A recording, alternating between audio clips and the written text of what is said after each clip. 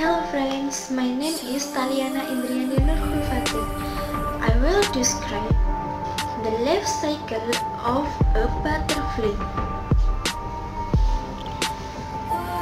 The first stage of age. A butterfly that live as a very small round oval or cylinder egg. Reporting from the butterfly side Egg shape depends on the type of butterfly that lays egg. The second stage of caterpillar. The egg finally hatch it grow into larva. This stage is often or commonly referred to as a caterpillar. All you can do is it lives. Because caterpillar have a small body, they cannot travel to new plants because caterpillars heads on the type of leaf that they want to eat. When caterpillars continue to eat, they immediately begin to grow and develop. The third stage of the pupa.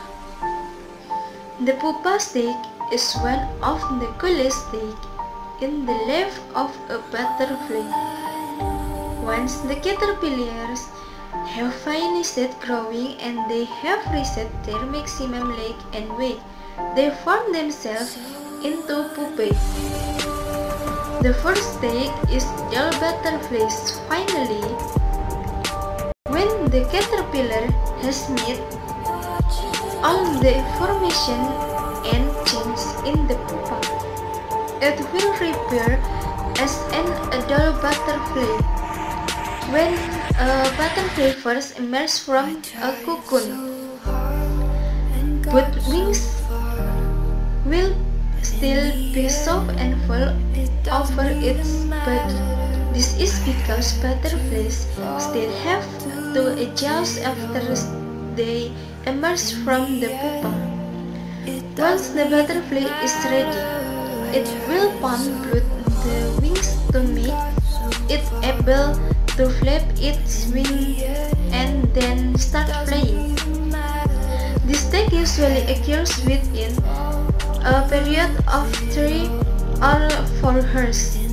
Then the butterfly will control it itself and will find food and mates to reproduce.